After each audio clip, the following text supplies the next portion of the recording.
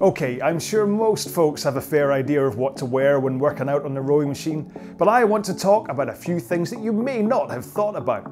And hey, if nothing else, you get to see me in a kilt.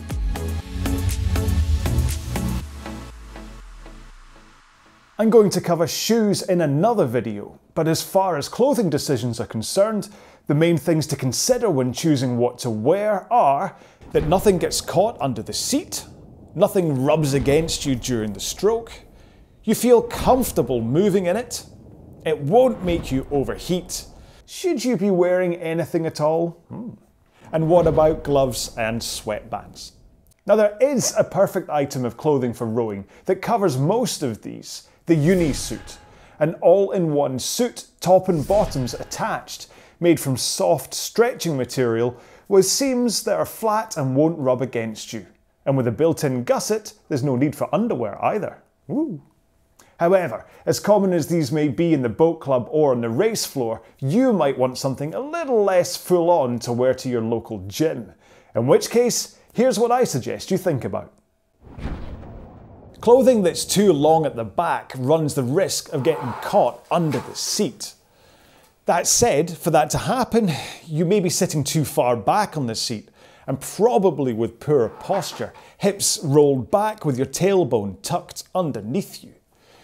And this will happen more commonly with longer hoodies and tops than it will with t shirts. But do be aware of the length of what you're wearing. And the same advice goes for any tassels or drawstrings on shorts. Make sure that nothing is dangling so that it's not going to get caught at the front or the back of the seat. Seams and labels may not feel like they're causing you discomfort at first, but once you're a thousand strokes into a long row, that label that's been sticking into your side or the rough seam on your t shirt or sock can really start to chafe. I sometimes do a 10 minute cool down on the rower after I've done an indoor bike session, but I'm too lazy to change out of my padded cycling shorts. Now, the seams on those pads are just not designed to move the way I do when rowing, and I nearly always end up with some kind of irritation at the end. You really think I'd learn? And don't just think about your shorts and t shirts either. Underwear can be the main culprit when it comes to rubbing. Seams from underwear or bra straps and underwires digging into your body can lead to real discomfort by the end of a row. Comfort isn't just about making sure nothing rubs or gets stuck. It's about making sure what you're wearing fits the way you want it to. It makes sense that what you wear has a bit of give to it. I'm not talking 1980s day glow spandex and lycra, just a bit of stretch so that it moves with you as you go through the stroke and doesn't bite into you, hindering your movement. Maybe you prefer loose clothing when rowing, as well as making sure it doesn't get caught anywhere, check it won't start flapping about uncomfortably and that you have to stop every few strokes to adjust it. you might prefer tight fitted t shirts and shorts. Just make sure it doesn't constrict you anywhere. I've got a lovely shirt that I race in, but it does sit quite high up on my neck and sometimes feel like it's choking me. Although with that beard and haircut, maybe it would have choked some sense into me.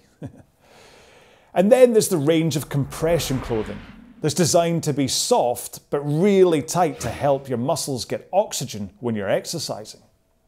Again, making sure the compression isn't restricting your movement is important. They're usually quite elastic, but the one compression top that I have kind of ends up round about my belly button by the end of a row, as it doesn't cope well with that constant body rock. So I'm playing the personal preference card here if you've got experience with compression shorts and t-shirts and like them, then why not try it on the rowing machine? Or maybe you're just interested to see if it'll help your muscles and want to give them a try. Now, as well as t-shirts and shorts, don't forget about socks. An old, rough pair of socks can feel nasty in your shoes, whereas a new, soft cotton pair can. Am I overplaying socks? I am, aren't I? But I row in socks, that's the thing, so making sure the heels are comfortable and there's no holes underneath is very important to me. But again, don't overlook your underwear here. Too tight and you could end up in quite considerable discomfort by the end of a row. And even though it's not an impact sport, women may want to wear a sports bra if it helps with comfort when rowing.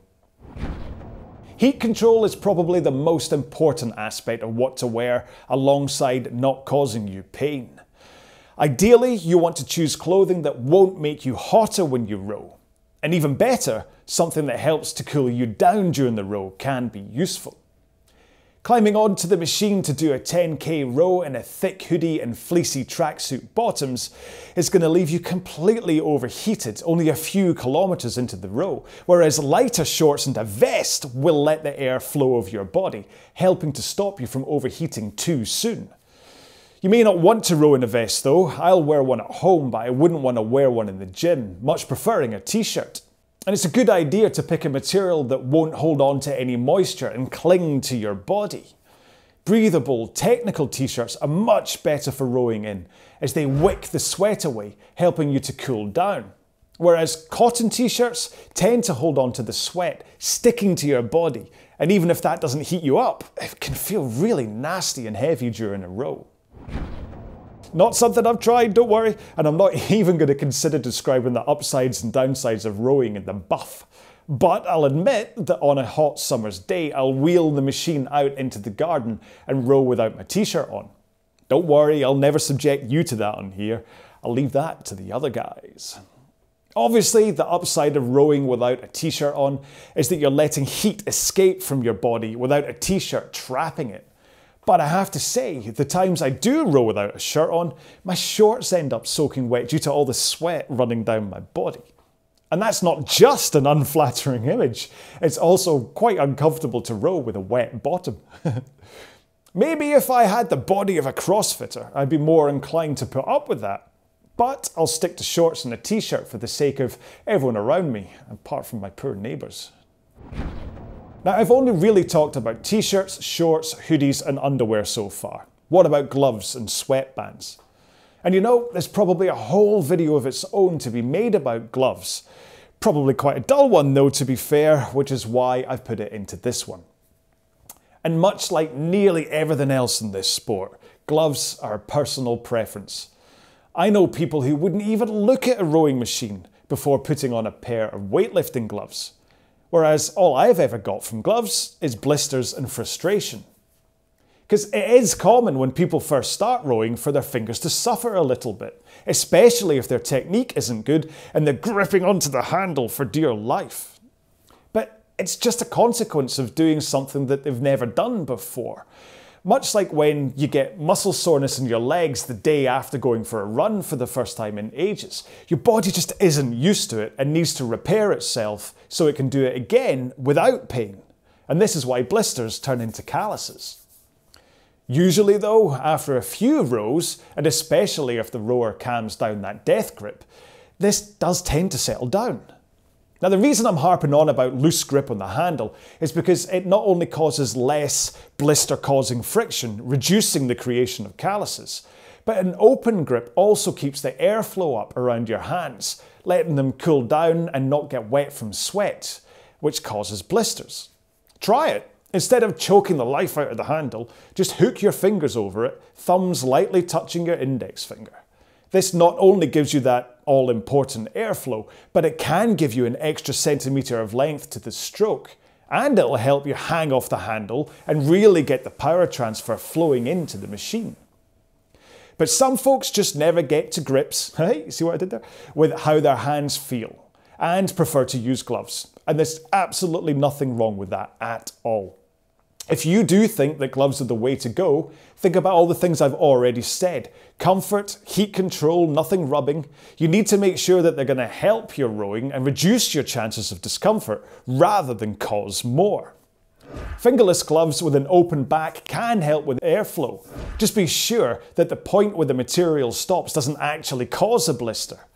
When I first went through the rowing hurts my fingers stage when I started, I tried wearing fingerless cycling gloves but the material stopped right at the point where the handle connects with my fingers.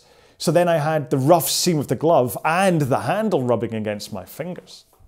But then full finger gloves, well, they just make my fingers feel sweaty just thinking about them. so, in the end, if you want to wear gloves, do some research, either on the Facebook rowing groups or just a Google search, and try to find out something that works for you be it full fingered, fingerless, or even just weightlifting pads that aren't actually gloves at all.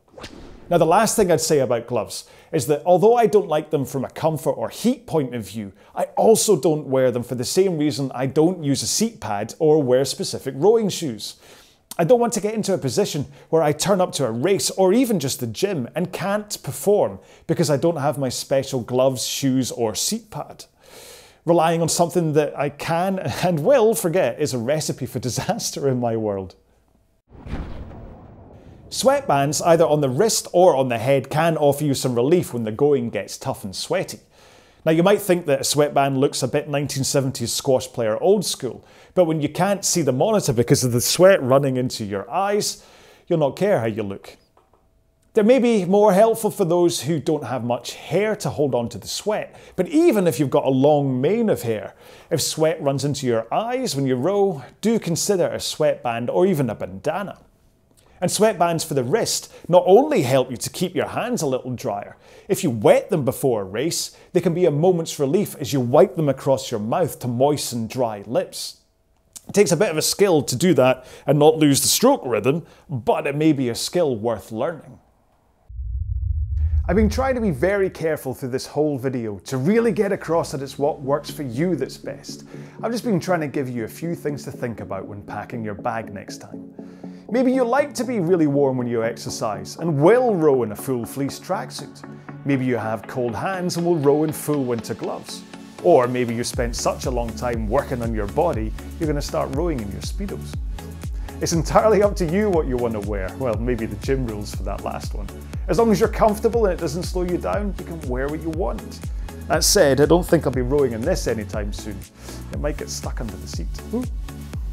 Thank you so much for watching this video. If you're interested in seeing any of my free row along workouts, then please check out this channel where there's currently around about 200 workouts, a 2K, a 5K and a 500 meter training plan, and I'm adding all the time. And if you wish, please click the subscribe and maybe the little bell icon to be notified when I put up a new workout or a chatty video like this one. Thanks again, stay safe, be well, bye bye.